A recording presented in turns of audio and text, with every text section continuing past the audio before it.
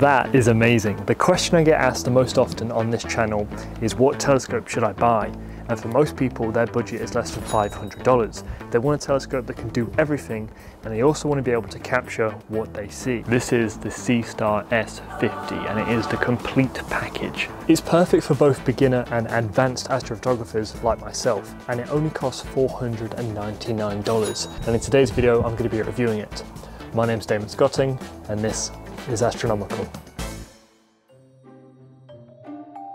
Okay, let's get straight into looking at what this tiny portable telescope can capture in our cosmos. So where do we point it first? I think I'm going to go for the Orion Nebula to kick things off. And that is located just there, behind the clouds. Isn't that just absolutely freaking perfect? Now, if that is an astronomer's look, I don't know what is. Okay, change plan. We're gonna go for a more difficult target then. I'm actually gonna go straight up in the air, just up here, for a target known as Messier Object 1, or better referred to as the Crab Nebula. We're actually going to be giving it a baptism of fire because it's going up against a very difficult to image object. You may have heard of the Crab Nebula before, it was a supernova remnant from 1054 AD. It's really cool um, and since we have been imaging this now for a very long time, what you can actually do with your images is you can now capture it and then compare your photos to photos taken 20, 30 years ago and see how much the supernova remnant has expanded since it was first imaged, which is really cool. I highly doubt we're going to be able to do that with this tiny little telescope. So let's see how it fares against the Crab Nebula. Oh, my legs. So after a total of 30 minutes worth of exposures, this is our final image of the Crab Nebula. I could have probably done a better job removing the magenta colour from the core, but overall I'm very impressed by it. And as previously mentioned, here it is in a comparison with Hubble's image taken 18 years ago back in 2005. Notice the core filaments of the Crab Nebula and how they have expanded over time. With the help of the billion dollar Hubble telescope and our $499 Seestar, we have captured the universe in motion. Go on, try and convince me that isn't the coolest thing ever. And from the death of an old star to the birth of countless new ones. Behind me right now, even though it is out of focus, just there is the Orion Nebula. It is one of the main objects that really captured my interest and imagination for this hobby. I'm sure the majority of us are familiar with the Orion Nebula already, but if not, here's a gentle reminder of its beautiful appearance. This image of the stellar nursery was also captured by Hubble, and it's probably not the best idea to be comparing images taken with a billion dollar telescope versus the Seestar S50. So instead, here's my setup from 10 years ago and an image I captured of the Orion Nebula with it. Collectively, the telescope, mount and camera, all purchased used, cost me $850, which was a very good deal. This is one of my favourite deep sky objects. What makes it especially incredible is the fact that it's so easy to image with just the most basic setups. This, I would class, is a more advanced setup, and it is capable of capturing the Orion Nebula in phenomenal detail. Don't believe me? Let's find out.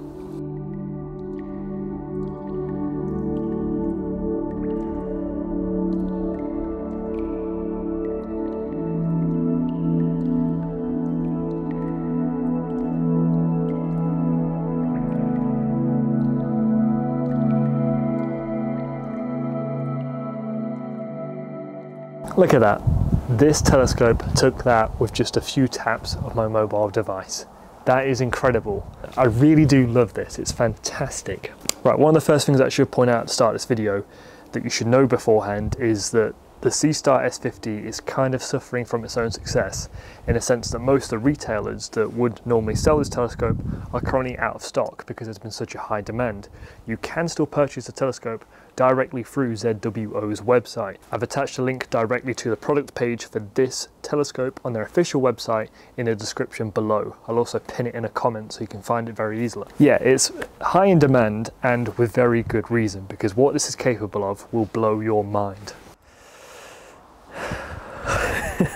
This is such a weird angle because it looks like I'm just sort of standing on top of the camera and I'm sure that might seem quite daunting but um, how else am I supposed to get the stars in the night sky in the same shot as me? This is actually quite a rare shot from what I see in documentaries and on YouTube itself where you have the presenter talking to the camera as well as the stars in the background and for the love of God they are not just put in as a green screen. These aren't fake stars, These are this is the real organic night sky and I think that's very important. I've tried doing it myself where I've sort of put a fake night sky in behind me as I'm talking, but then whenever I'm editing it or rewatching the clip back, I just get really angry at the fact that it's not real and it just looks so, so ugly. So the next target we're going to be going for is the Horsehead Nebula, which is located in the belt of Orion on the leftmost star, Alnitak, which is just over here. Again, it's a fairly commonly imaged target, but at the same time, it's not a very easy one to capture with your camera. Uh, it is a dark nebula, which is basically we're observing the sort of absence of light from this curtain of dust and gas that hides the birth of stars. But it is really pretty. Yeah, I'm gonna try and see if I can actually frame in the Flame Nebula and the Horsehead Nebula to be in the same shot here, which would be a nice sort of composition as opposed to just getting one. Uh, yeah, so let's line this up and see if we can get both of them included in the same shot. The method in which the Seestar captures the night sky is very impressive. It takes successive 10 second long exposures of the target and stacks them live in front of your eyes. And within the first minute or so, you can already make out some spectacular detail in your images that would otherwise be invisible to the naked eye. With 30 minutes total exposure time, we are able to create this.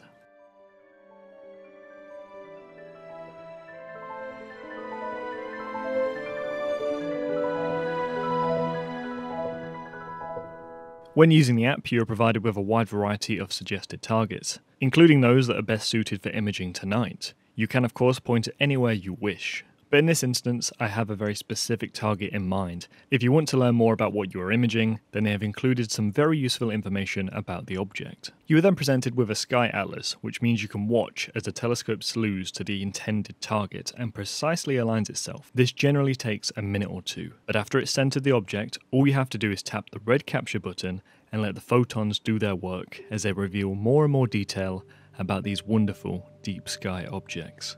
After 15 minutes total exposure time, this is what I managed to produce. The imaging process is unbelievably easy. I managed to capture an extravagant selection of DSOs, ranging from star clusters to nebulae to galaxies and even planets. The onboard 64GB storage ensures there is plenty of room for your raw images to be saved. Once imaging is complete, preview photos are downloaded onto your phone. This is how the image is turned out without any additional editing. The Smart Telescope overlays a very useful graphic that includes a timestamp, the name of the object, and the total exposure time. If you're like me, then you're going to want to bring out the best features in the image. The main adjustment I made was to sharpen the image, reduce the noise, and increase the contrast and saturation. The magnification is quite high, which means objects like the Andromeda Galaxy, that I've captured here, will require you to take multiple mosaic shots to include all of the galaxy itself. But how bloody special is that? This is a 17 minute exposure of the core of our nearest galactic neighbour. Amazing. Yeah, so it is now peak season for astrophotography. We are now entering into the period where we have the longest nights of the entire year, otherwise known as winter. Christmas is just around the corner, which means people are spending less time outdoors during the daytime and more time indoors thinking about what they can do for fun. And what could be more fun than standing outside in the freezing cold all night, looking up at the night sky? I'm not even joking by that statement. I think this is amazing. Uh, behind me you can see some of the best features of our winter night skies and in fact that bright point of light just up there that is the largest planet in our solar system Jupiter so it's not actually a star um, but it is a very wonderful sight to look through with a telescope. I'm actually going to test the Seestar S50 up against Jupiter. So yeah, this is how Jupiter looks through the Seestar S50 telescope.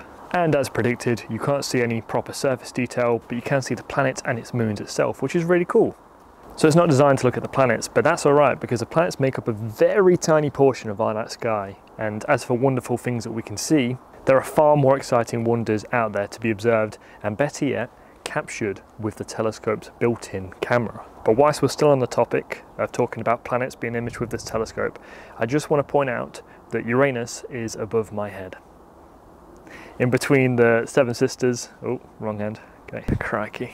Okay, that's right. In between the Seven Sisters and the planet Jupiter is Uranus, which is right above me, just there. Which I haven't actually done on purpose, but where better to be standing than looking up at Uranus?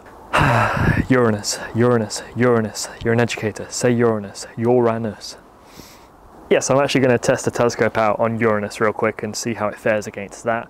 Uh, again, we're not looking to see any surface detail really. The main thing I want to try and observe right now is whether or not we can see any of Uranus's moons, which would be really cool. So I'm just going to open up the app I'm going to tap away and say, I want you to point at Uranus, and it's going to take a minute or two to finally center itself and then start taking some photos. Yeah. I kept the exposure time for this shot down to two minutes as I could very quickly see on my live feed that it had captured what I was hoping for. Either side of Uranus, we can see one of its 27 moons. The ones we're looking at here are Oberon and Titania. Just to finish off talking about the solar system imaging capabilities of this telescope, it does include a solar filter, which enables you to capture the sun in white light, and I was very impressed with the clarity of the videos and photos I took. You can clearly identify a number of sunspots on the surface of the sun. Gosh, is there anything this telescope can't do? Okay, cool. We're making really good progress. Um, it's actually very easy to do astrophotography nowadays when you have a smart telescope like this because it does 70% of the work for you. The main thing you have to do is just figure out which target you want to actually explore. Now I know a lot of old time astrophotographers will take issue with this. They'll say that it's not real astrophotography, you're taking all of the fun out of astrophotography and the real experience. I get that. I understand where they're coming from because being out in the garden and looking up at the night sky and looking at it through your telescope and taking pictures, it's a very intimate experience, especially because for the majority of the time, we do it by ourselves. It's just us. So there's a lot of time to sort of contemplate certain aspects of it. Um, you feel a much deeper connection with the universe. I know that might sound silly to some people, but if you are an astrophotographer, you will understand what I mean. So using a smart telescope kind of removes certain elements of that because you're not going through all the rigorous effort to set it up and get it capturing the cosmos, which kind of sounds like you're just complaining about this making your life a lot easier, which it is, which is why I get where certain people are coming from with these comments, but at the same time, I don't necessarily agree with them myself because the fact that I can literally pitch this up in about two minutes and then connect it to my phone, go back inside and sit on my sofa drinking tea all night night whilst I point it at different targets and edit the photos straight on my phone. That's so convenient and so easy and it's going to make astrophotography a million times more accessible to the rest of the population. So to summarise, what are the Seestar S50 telescope's best features? Right, so let's then go through an uh, overview of the best features that the Seestar has. So it weighs about 3 kilograms, which is 6.6 pounds. It's able to not only find a target in the night sky, but also track it and take long exposure images that it then saves both to the 64 gigabyte storage on the telescope itself, no SD card required. I'd say one of the more impressive features that I've noticed from this telescope that has stood out compared to the others is that it has a built-in anti-dew function. And what that means is on cold nights like this, glass of all materials is very susceptible to actually fogging up and dewing up and basically giving you a sort of blurred, cloudy image that you can't really see because it's really obscured. Today, all it has done in England is rain, which isn't a shock to anyone. That's what it does here. But it does mean that we've got some nice crystal clear skies because it's basically removed almost all the clouds in our night sky, which is great. But also means it's very damp and cold yeah, it's uh, it's about six degrees Celsius. Yeah, it's not quite freezing, but it's getting there. It's one of those nights where you can kind of withstand being outside with your telescope, observing the night sky, but you'd still much rather be inside with some cookies and a cup of tea. So alongside its best features, uh, as it is for any smart telescope, is the fact that you can control it solely from being inside your house, from the comfort of a much warmer environment. Okay, in terms of portability, it is still very portable. It comes with a foam case, carry case, which makes it super easy. Uh, it has an autofocus function on it. It allows you to adjust the actual focus that you're seeing in the night sky so you can pinpoint it yourself or you can press the AF button. It has a built-in filter, a duo band filter which allows you to bring out more of the nebulosity in certain deep sky objects. One of the best features has been the Sky Atlas, like the fact that I can just tap the bottom right part of the phone here and then point it wherever I want in the night sky. Just find the field of view of the region and then press go to and it will take a minute or so to perfectly center that object it's just phenomenal. It makes it so easy and I cannot overstate that. The fact it even shows you the field of view that you're going to see with this telescope and the sort of built-in camera, that's incredibly handy because I'm always on Stellarium where I'm just trying to figure out what certain objects are going to look like when I go out to image it later on. But this is built in, it already knows what the field of view is and it's going to tell you what you should see once you center it. In the top left, it always has the word enhancing to let you know that it's actually enhancing your image every time in between exposures. What it's actually doing is in between shots, it's dithering. Dithering is where you move the sort of view of the telescope ever so slightly by just a few pixels will do the trick uh, and then start taking images again. So by moving around but still keeping the same sort of main target in the middle, you're going to generate a much cleaner and better signal to noise ratio with your actual overall resultant image. So it's very handy.